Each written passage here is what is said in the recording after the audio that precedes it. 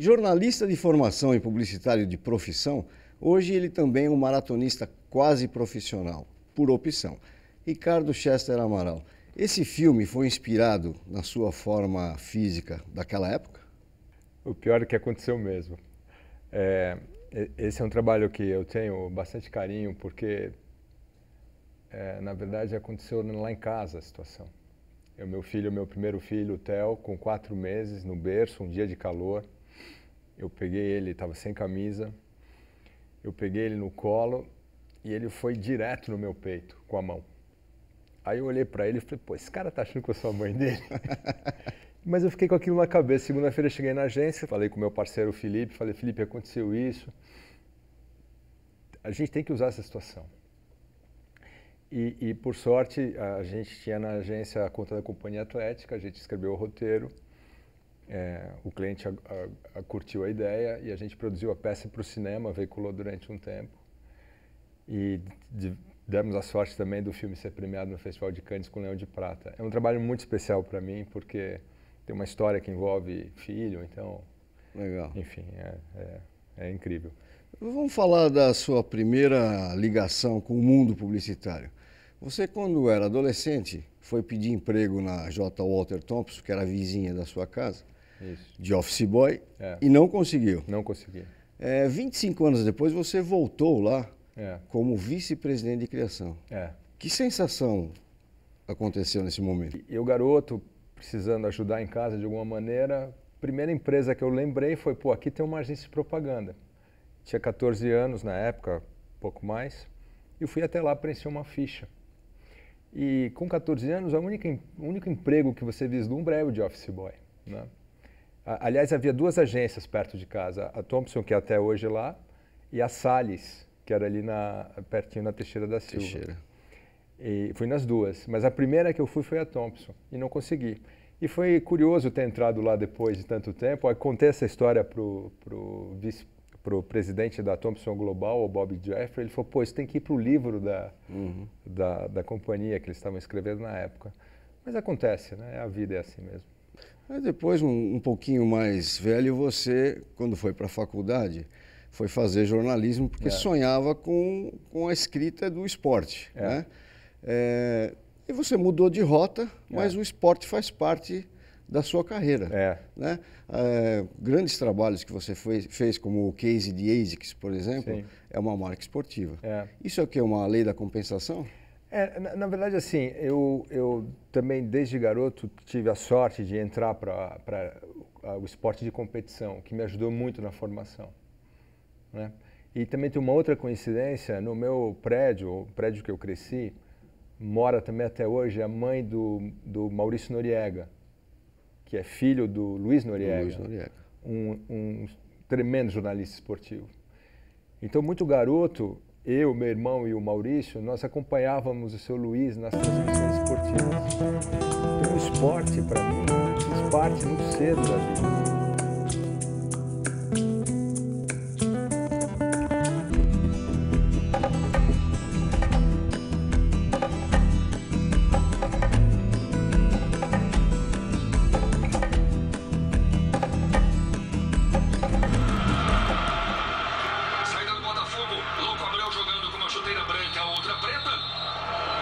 Protestando contra atitudes racistas. O toque bonito, Abreu ajeitou, bateu pro gol.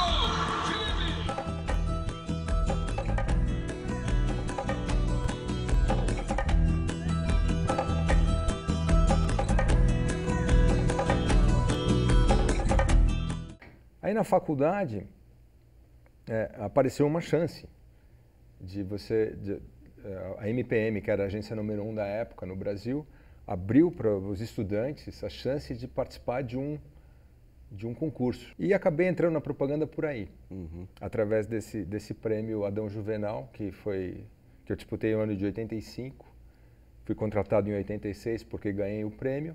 E aí na verdade eh, acabei entrando na propaganda através da porta da assessoria de imprensa da agência de, da MPM e foi. E você teve sorte de começar na profissão numa agência que era lendária na época, Lendária. né? A MPM, além de ser líder do ranking nacional, tinha grandes nomes, tanto de criação quanto de, de outras áreas da propaganda.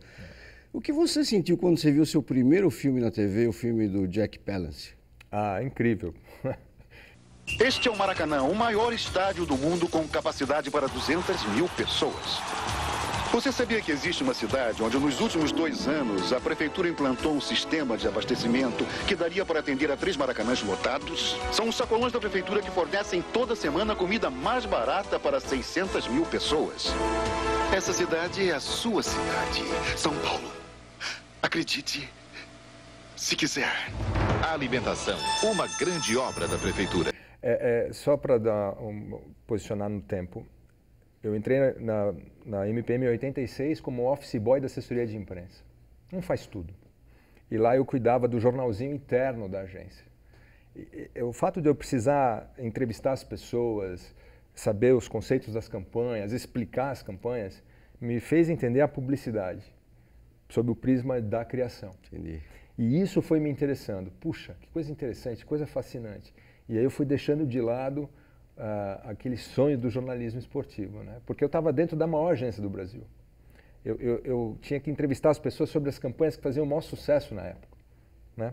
Então, é, dessa época, 86, até essa campanha que você menciona, foram quatro anos.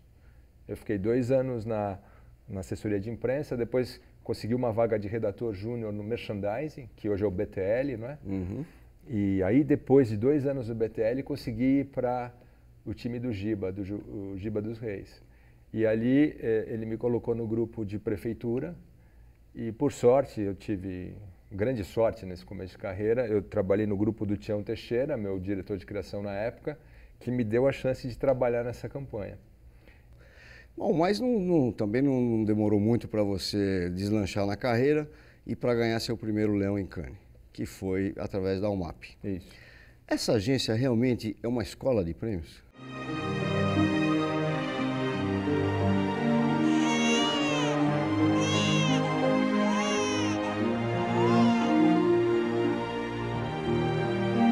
A primeira grande descoberta de todo ser humano é que ele tem escolha. Pepsi, a escolha da nova geração. Eu me lembro que eu trabalhei lá de 95 a 2000, numa fase espetacular, com uma equipe espetacular. E eu acho que o sucesso que a UMAP tem tem tudo a ver com o jeito do Marcelo ser. É uma crença absoluta que o trabalho criativo é melhor para o negócio. E, e, não é uma coisa só do Marcelo, mas todos esses caras geniais que deram certo na profissão, liderando agências criativas, perseguem isso como se tivessem aberto a agência ontem. Para mim é fundamental, é um período que eu, eu agradeço. Toda vez que eu encontro o pessoal, a gente se relembra e fala, poxa, como foi importante na vida da gente ter vivido aqueles, aqueles anos ali. Né? Agora, disse no mercado que a, uma das agências de maior liberdade criativa é a Loduca. Você acha isso? É realidade? É, a Loduca ela tem uma coisa também interessante que é o jeito do Celso. Né? É, você é um dos melhores lugares para se trabalhar no Brasil, com certeza. O Celso é um sujeito admirável, tem uma filosofia de vida espetacular, um super pai, um cara que dá uma, uma condição de trabalho ideal para as pessoas. Óbvio, tem lá suas suas convicções, né, que você nem sempre concorda, mas como patrão é um espetáculo. Então assim, também é um cara que acredita que o trabalho criativo traz mais negócios, sempre acreditou nisso, né? E conseguiu fazer uma agência bacana, com gente legal, está na estrada há tantos anos fazendo sucesso, né? Por causa disso. Com certeza, a liberdade que ele deu na minha época de, de trabalho lá também me ajudou muito a construir, colocar no meu, no meu portfólio, né? no, no meu trajeto, coisas que eu tenho muito orgulho até hoje. A campanha de Sprite, por exemplo, Moço, por que isso na sua orelha? São pelos, pelos na orelha. É, é, pode descer, eu não levo ninguém com pelos na orelha. É, é,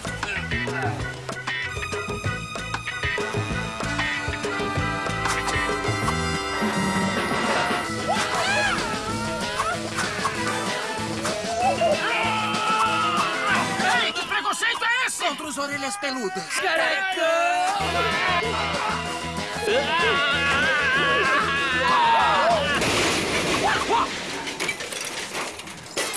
Essa campanha é um oferecimento de Sprite em defesa das pessoas que usam pelos na orelha. Imagem não é nada, pelo é tudo. Sprite. Agora, quando um comercial é, como do Itaú, que você fez na DM9, ganha uma refilmagem, isso para o criador é, é, é como um, um, autor comemorar um remake de uma telenovela? Bem, eu não sei porque eu nunca conversei com o autor, mas assim, é, é, é um prêmio raro. Raríssimo.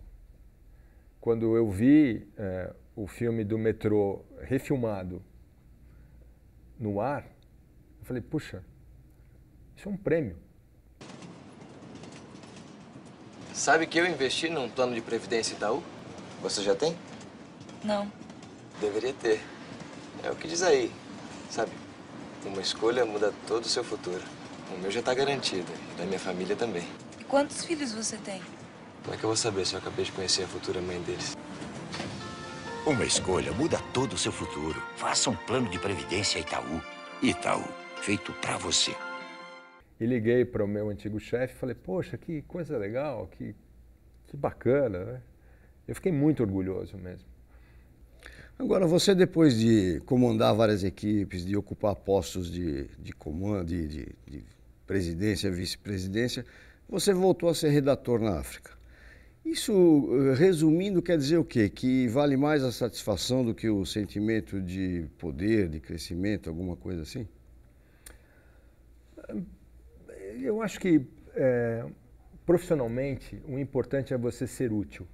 Não faz muito tempo ela seguia ele, que segue ela, que também segue ele.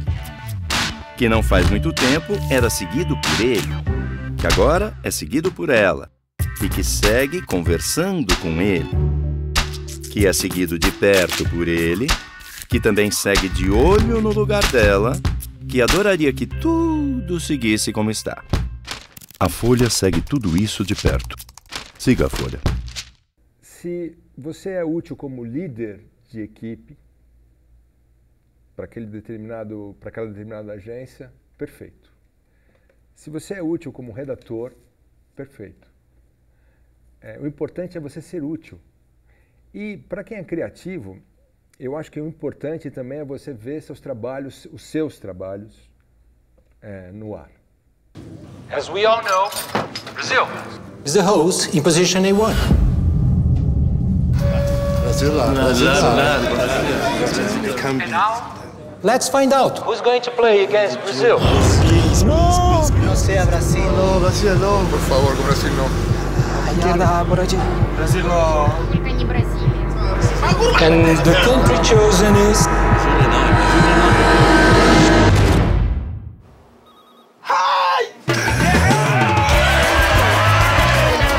Ele sabe que nossa torcida muda o jogo. Itaú, orgulho de ser o banco da seleção brasileira. Porque no final das contas, é isso que vale. Não é se o cara tem 22 anos, se o cara está cheio de tatuagem, ou se o cara tem 70 anos. E, e, o mercado, digamos, mais desenvolvido, ele só dá crédito a quem faz, quem põe a mão na massa. O redator Chester, muito obrigado pela sua participação. Pô, eu que agradeço, já tem um tempo que a gente está para bater esse papo. É, para mim é uma honra estar aqui, é, é sinal de que as coisas de alguma maneira foram feitas direito, né? Ou um pouco direito. Enfim, esperar um próximo convite com trabalhos novos aí para mostrar, tomara.